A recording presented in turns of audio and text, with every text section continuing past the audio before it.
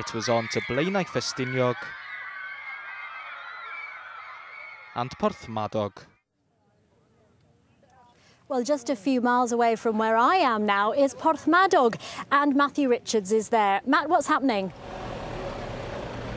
Well, Sean, the uh, torch passed through uh, around 20 minutes ago. It was brought from the steam engine, the David Lloyd George, by torchbearer Elin Owen.